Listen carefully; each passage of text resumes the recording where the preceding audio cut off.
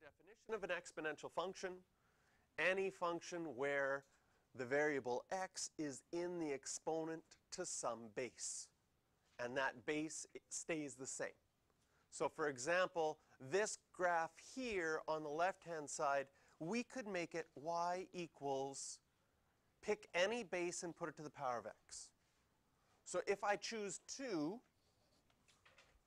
well, it still has this shape. It's going to always go through the point 0, comma 1.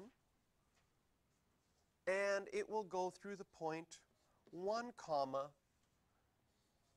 and if it was 2, it would be 2. If you want to label this one exactly as it is, this is a to the x, then it's 1 comma a. Whatever your base is, when you plug in 1 for x, a to the 1 is still going to be a. Okay? The other thing that's important that they never put on these graphs is arrowheads, and they did not draw in the asymptote, so we should do that. There's an asymptote on both of these at y equals 0. On the second one, they're saying if you get an a value between 0 and 1, for example, 1 half to the x, well, now you still have, as always, the point 0, comma 1, just like on the green one. But now, when I plug in 1 for x, I would get 1 half comma 1, or a comma 1, same thing as before, whatever your base is, but since 1 half is less than 1, this makes this function decreasing. So sometimes exponential functions are increasing. That's the most common, because usually you're given a base that's 2, 3, 4, 5, 6, something nice like that. But if you do get a fraction for the base, and that fraction is between 0 and 1, then your exponential graph will be decreasing.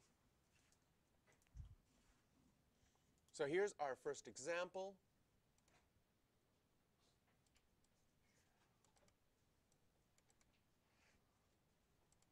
We want to graph 1 third x. So off to the side, we can start our graph. It's an exponential graph, so you can automatically put in your asymptote at y equals 0. It's an exponential graph, so you can automatically label the point 0, comma 1. And it's an exponential graph, so we figure out what's our base. That means when I plug in 1, I'm going to get 1 comma 1 third.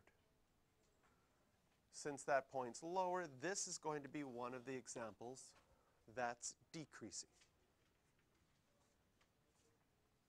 In this unit, you have the possibility of an E10 error. Okay?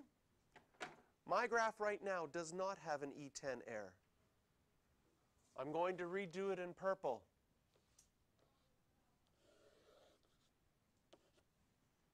Purple looks pretty good, but it has an E10 error. What's wrong with the purple graph?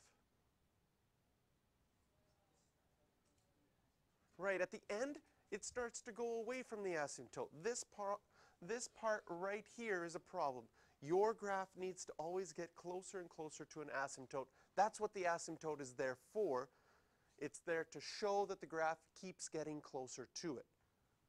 If you draw it there and then have your graph go away from it, that's showing a little bit of a misunderstanding. Usually that misunderstanding is just that you're careless at the end. You're like, woohoo, I'm done the question. Swing your hand swings off to the right, goes a little bit high. So we're going to erase the purple one because that has that E10 error. Okay. So, graph. We're done our graph. That's all we need to have on our graph. We need our asymptote, and we need two points to give an indication of the curve and have the right shape. Once we've got that, what happens on y when x increases by 1? Every time you go 1 to the right, if I increase 1 here, I'm going to have 2 comma 1 ninth.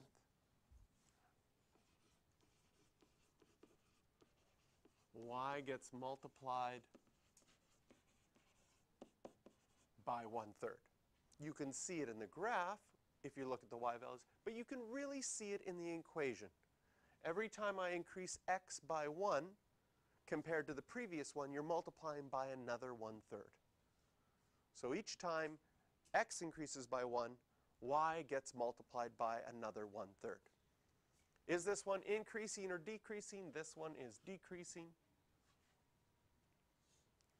There are no x-intercepts ever on an exponential function unless we start to move it up and down, which we will.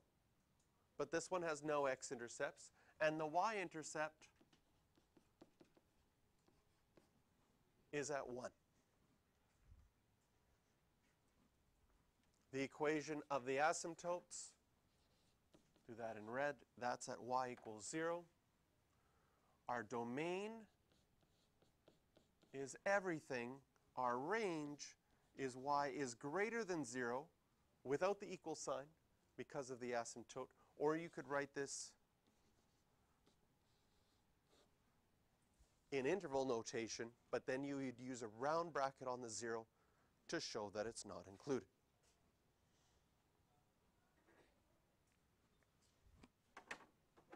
All right, questions for practice 3, 5, and 7. Fairly straightforward. I'll give you a couple minutes to get those started.